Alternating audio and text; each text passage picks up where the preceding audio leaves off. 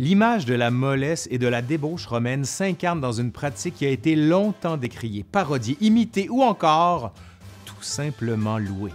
Et je parle des orgies.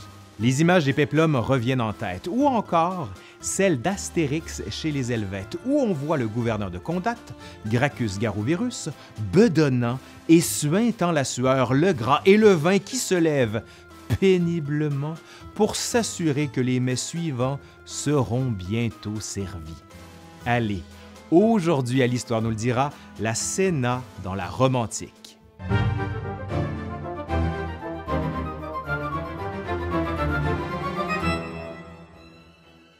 Les pratiques culinaires, avant d'être un dérèglement complet des mœurs, des manières et de l'appétit, forment une véritable gastronomie romaine qui subit de profonds changements. L'otium romain encourage de rassasier l'âme et le corps de toutes les manières qui puissent être acceptables, et les repas en constituent une des manifestations les plus éclatantes. Rappelons que la morale romaine est fondée sur la pratique des vertus paysannes.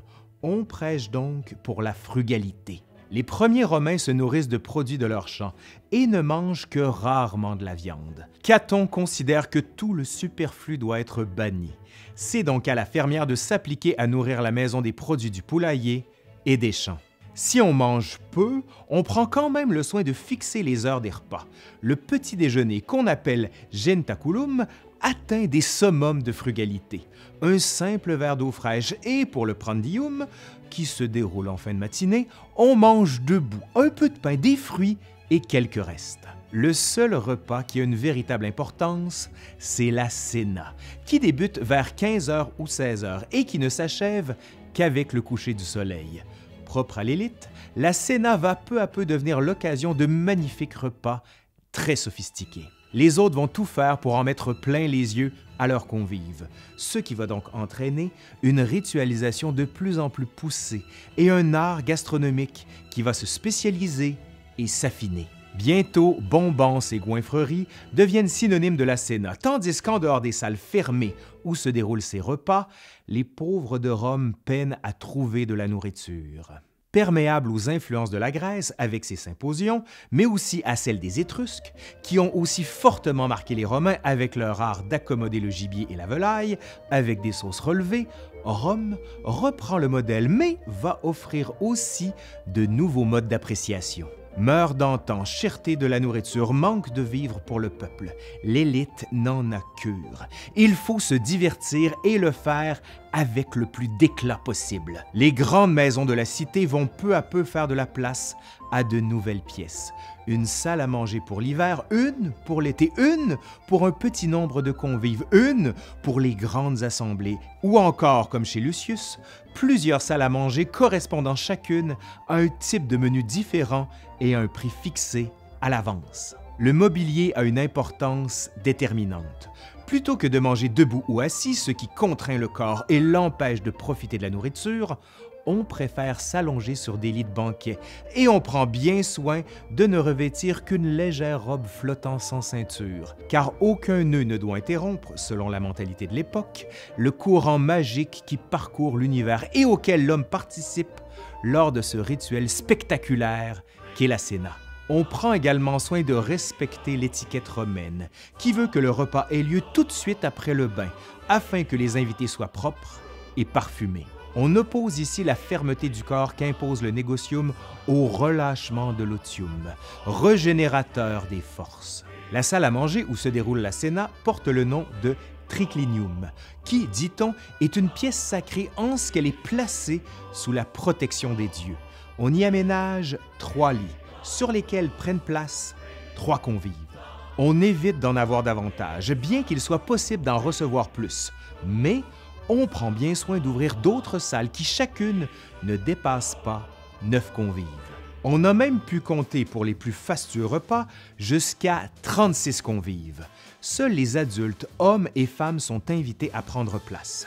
Une fois les places octroyées, on prend soin de s'étendre du côté gauche afin de pouvoir se servir avec la main droite, car la gauche, qui porte le nom de sinistra, est mal vue. Toute une série de superstitions et de tabous définissent ainsi des comportements, comme le fait de renverser la salière, présage de mort, ou encore ne pas prononcer certains mots, comme incendie, qui est suivi d'une rasade d'eau que l'on lance par terre pour éviter le présage.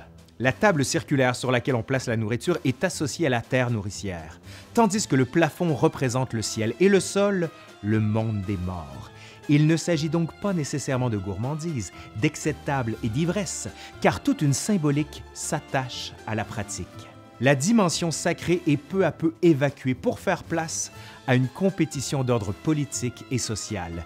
Qui recevra le mieux avec le faste le plus démesuré? C'est une recherche d'extravagance spectaculaire qui fonde désormais la Sénat. Le parangon de cette mise en scène du repas est sans nul doute la fameuse salle à manger principale que Néron a fait construire et qui possède cette caractéristique singulière de tourner continuellement jour et nuit afin d'imiter le mouvement du monde.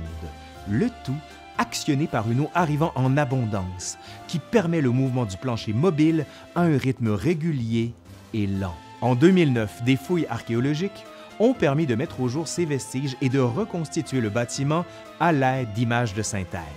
Le déferlement de luxe s'observe particulièrement dans l'art gastronomique, qui atteint des sommets jamais égalés. On n'hésite pas à se ruiner pour recevoir. Les plats ne servent pas qu'à satisfaire la faim, ils doivent provoquer un saisissement de tous les sens des convives, piquer l'odorat, éveiller les papilles, surprendre les yeux, tout doit être mis à contribution. À Rome, on préfère les consistances molles aux croquantes. On fait ainsi toujours bouillir les viandes avant de les rôtir.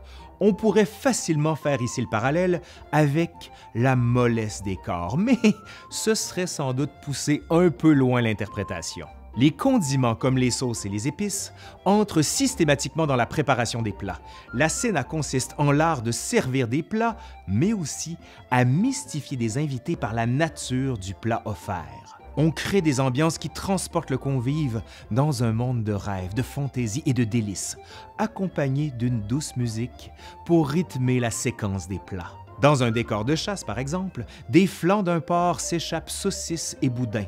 Le plafond semble s'ouvrir pour laisser descendre des parfums, tandis que les fruits lancent des jets de safran.